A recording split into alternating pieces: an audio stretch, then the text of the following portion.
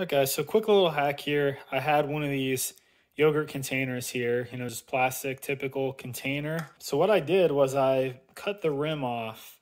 You know, you normally got a rim with a little bit of a lip like that. I saw someone else uh, mention this online. So I tried it out and uh, I made a floating ring, you know, for like kind of around my plants and have a feeding ring in my tank. So this is going to keep the salvinia and the water lettuce and stuff like that from encroaching. So uh, I'll show you what this looks like in the tank, but I mean, this was real simple to do. I'd recommend a good pair of scissors.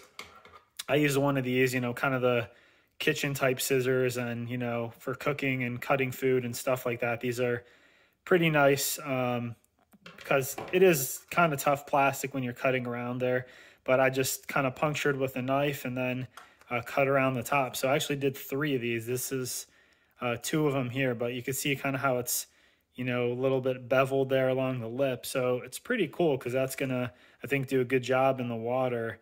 And uh, like I said, keeping the plants away. And uh, that's one problem I have a lot in my 29 gallon. Let me show you. So this light is off right now because uh, I kind of have it two different cycles during the day. But you see all the salvinia. It's all salvinia minima. Um, then I've got kind of the dwarf water lettuce over here.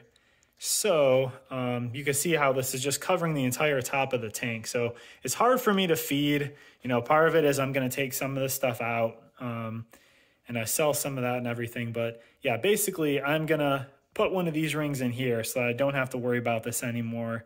And uh, you can see my betta right there. That's one of the guppies. But I'll be able to feed this tank a lot easier. And uh, yeah, so I'll show you what it looks like. All right, guys, so I did go back and I did use some sandpaper. Um, you can kind of see how that's frayed a little bit now on the plastic and stuff. And I'll just, you know, make sure that stuff's off. But I did go back with, uh, this is like a coarse sandpaper. This is like a 60, you can see here. So uh, that that did pretty quick work of it um, around the edges there. I did two of these. It's really soft now. I mean, if I put this around my finger, you know, I can run it here and it's not really sharp at all or anything. It's not going to cut me. So just for uh, some peace of mind with the fish, uh, you kind of know then that it's not going to bother them. You know, I don't think it would have been a big issue anyway. It certainly wasn't sharper than uh, many like aquarium decorations and stuff that you're going to buy anyway, I think. But uh, yeah, I would, I'd recommend it. I think I'd hit that with, you know, real quick, a couple minutes of using some of the sandpaper. Guys, so this is like a temporary uh, quarantine slash breeding setup for these three females. I got these from somebody with a bunch of males, and uh, they're all very pregnant, as you can see. So they're in a three and a half gallon here. This is covered with floaters, as you can see. And uh, there's the yogurt top. So I think it actually looks pretty decent. You know, if I wanted to, I could clean up a little more around the edge here and stuff, make this even. But honestly, I really don't think that looks tacky at all or anything.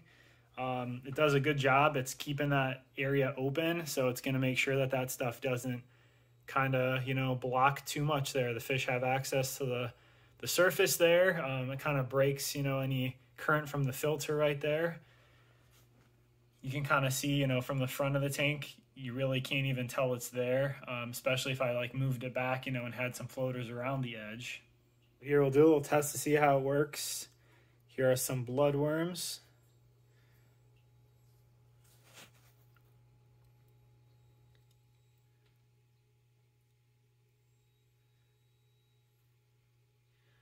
So yeah, it looks like it's going to work well. You know, it's keeping that contained within the ring there.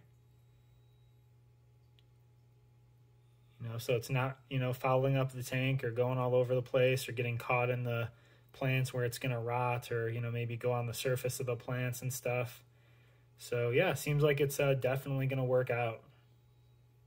The last thing is if you do have any rough edges, you can use a razor blade like this and just that allows very fine tuning of uh, taking some shavings off. So if you're a little, you know, oblong on one side, if you're really picky, then you can kind of dial it in that way. It also makes it easier where you don't have to do as much sanding later. So I did do that, so I figured I'd share that with you guys.